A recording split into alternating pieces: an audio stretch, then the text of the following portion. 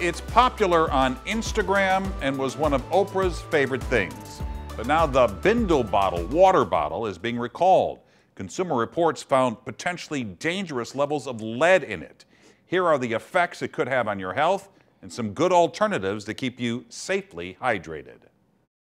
Once one of Oprah's favorite things, Bindle is voluntarily recalling its Sip and Stash water bottle after Consumer Reports tests found alarmingly high levels of lead in the bottle's bottom storage compartment, levels that were over a thousand times the amount allowed in many consumer products. In the Bindle bottle's bottom storage compartment, there's a spot of lead solder that's sealing the different parts of the bottle together. So anything that you put into the storage compartment can potentially become contaminated with lead. Exposure to lead can increase cancer risk, cause reproductive harm, and hurt brain and nervous system development.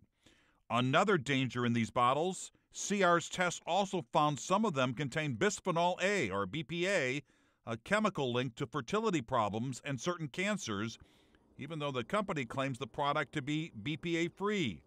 Because of these reasons, CR is warning consumers to immediately stop using all of Bindle's water bottles.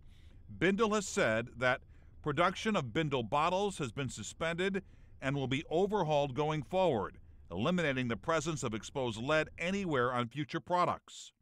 If you have a Bindle bottle and want to contact the manufacturer, go to Bindle's recall page at bindlebottle.com slash pages slash recall and complete the form to receive a free repair kit.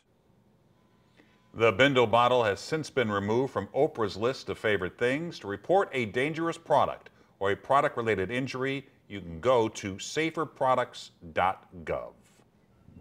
We enjoyed a taste